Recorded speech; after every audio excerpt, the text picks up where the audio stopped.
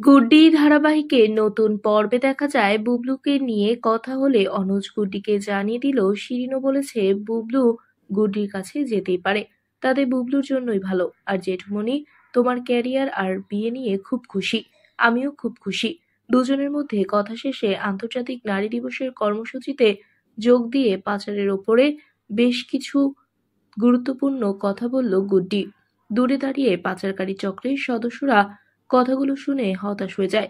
তারপর বেশ কিছু নারী ও কিশোরীদের নিয়ে আমরা করব জয় গানটি গেয়ে সমাবেশ শেষ করার আগে আরও কিছু দিক নির্দেশনা দিয়ে এবং সাবধানে চলাচল করতে বলল গুড্ডি।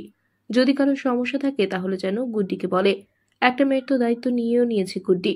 যে মেয়েটাকে আজই হয়তো পাচারকারীদের হাতে তুলে দিত তার মা। তাই তো ক্ষিপ্ত হয়ে আজকেই গুড্ডিকে শেষ করার পরিকল্পনা করে রাস্তা আটকে গুড্ডিকে শ্যুট করে পালিয়ে যায়। ড্রাইভার অনুজকে ফোন করে জানিয়ে দিল, ম্যাম হয়তো মারা গেছে।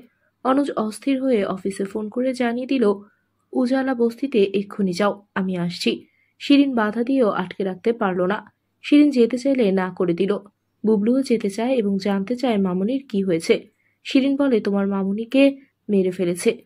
বুবলু মাকে পচা বলে। অনুজকে আবারও আটকাতে শিরিন বলে, তোমার যদি ক্ষতি হয়ে যায়?